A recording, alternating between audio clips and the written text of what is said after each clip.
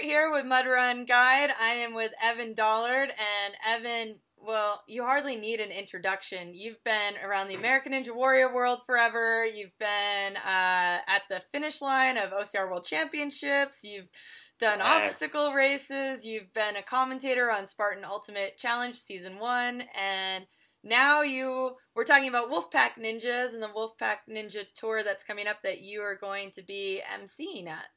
Correct? That, Yes. Yeah. Yeah. You know, for not needing an, uh, an introduction, you really nailed it. you don't need an introduction, but here's all these things. No, thank you. That was very kind. Yeah, so I- mean, you you've been in the ninja world forever. I mean, it seems like you've been in it for a number of years now. And um, tell me how you guys got kind of got hooked up with the Wolfpack Ninja crew and and the event that's coming up. I mean, American Ninja Warrior. I started season two, right? And it was it was there weren't a lot of people that had heard about it at that point. I found out about it because of a a coworker of mine who knew that I had done American Gladiators, and he said you should try this next. So fast forward, we're now in season nine. They're filming season nine right now. Yeah. and instead of a couple hundred people applying every season, there's tens of thousands. Like the last number I heard was pretty ridiculous. Like it was upwards of 60,000 people, 80, 70,000 people just applying to be on American Ninja Warrior. And while the show is incredible, it's so much fun. Like that is something that a lot of people strive to be a part of. It's hard. It's competitive to even get on the show in the first place. So one of the things that the Wolfpack Ninjas uh, have been trying to do is create an opportunity for everybody to compete in something. You know, where rather than just saying, hopefully I get, you know, picked for out of these 80,000 people to be on the show, you can actually sign up and come compete and run an American Ninja Warrior esque course in Denver. And not only run it and but actually compete against some of the best ninjas in the country, in the world, on a course that that you've been training for all year round. So hopefully you make it on American Ninja Warrior. But if you don't, come to Denver and give it a shot. Yeah, and I mean, what's neat is that obviously you've been in the American Ninja Warrior world, as you just said, like from the beginning, and you've seen like the evolution of the whole, uh, you know, the the whole rise of it and everything. So, I mean, who? I mean, you know who a lot of the people are that are going to be at the Wolfpack Ninja Tour, but what is it like? Do you think to have like an average Joe be able to go with like Jessie Graff or like you know, any of the Wolfpack guys and all that sort of stuff. Like to you, like what's cool about that, seeing that together?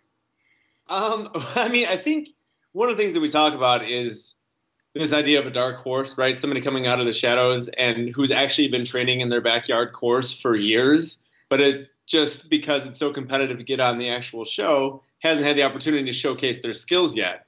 And I think, honestly, I think you'll see a lot of that because you have your staples. Jessie Graff is obviously phenomenal. Drew Drechsel's very, very good at what he does. You have all these athletes, um, Jesse La Flair, Mm-hmm. who not only is a phenomenal ninja athlete, but a professional free runner who has, you know, competed all across the world doing that.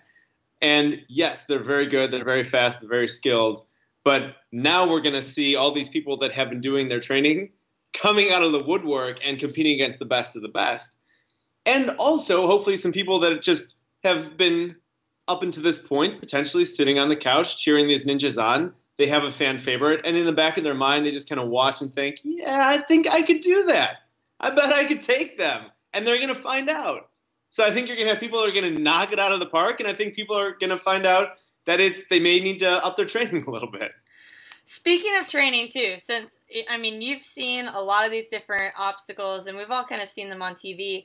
But what is your like one or two tips for somebody that is looking to try or is going to take on like the Wolfpack Ninja Tour coming up here? What is like one or two things that all of us could be doing at home to maybe try to give ourselves more of an advantage? oh, one or two things.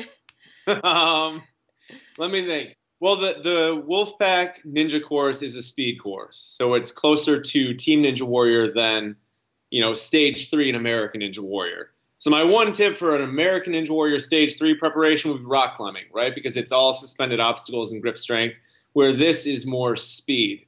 So you want to focus equally on your upper body strength and grip strength as much as your lower body explosiveness. So one of the things that I recommend for that is sprints and plyometrics. I'm I'm constantly trying to make sure that I'm I'm ready with the lower body because something like a Spartan race, right? You, you it's you have distance. You've got at least minimum three miles, maximum what 12, 16 to make up time or ground. Whereas this, you have to be ready and you have to be explosive. So definitely get your sprints in. Definitely do some plyometrics, some box jumps, do some ladder drills to make sure that your legs are ready to go. Well, excellent. And uh, what are you looking forward to most about the the Wolfpack Ninja Tour coming up? What what's going to be a highlight for you? Do you think going in? Oh my goodness! I mean, I so for me, I over the last couple years, I've enjoyed doing commentary more than competing. Like, competing is fun, but I've done it five seasons now. I've had the chance to compete in Japan. I've competed in China, and I, I competed on Team Ninja Warrior, and I got to to go out competing against uh, Alan Connealy, the Beast, on Team Ninja Warrior. Barely beat him to the buzzer. It was a neck and neck race, and that was kind of like my highlight. Okay, that's a good way to end my ninja career. Um, so when I look forward to doing the commentary, being up next to Noah, not only again feeling a sense of closeness and camaraderie for all the ninjas that I've competing with for the last few years, but those those athletes that are going to come out of the woodwork and the people that are trying this for the first time, they're just going to love it. It's it's so much fun. It's fast. It's furious. It will test every ounce of your physical prowess and it's going to be a, a, huge event that everyone's going to enjoy being a part of. So I guess I'm looking forward mostly to being there, seeing the action, seeing people's faces light up, seeing people get challenged and pushed, and seeing those boundaries overcome. I love it. I love it. Well, um, uh, we will be looking forward to seeing uh, any updates you have from the event there and everything else that's going on with the Wolfpack Ninja Tour. So thanks, Evan. Thanks so much for taking the time. This has been awesome. Yeah, of course. Thank you. And definitely check it out. You got to sign up. There's $30,000 of prizes given away. You have to get out there. This is your chance to test your ninja skills. Make sure you sign up, and we'll see you in Denver. Excellent.